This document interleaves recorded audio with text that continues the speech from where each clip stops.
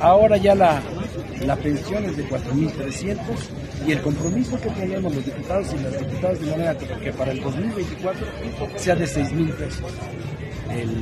La, pensión garantizada para adultos mayores. Nos comprometimos a que bajara de 67 a 65 años.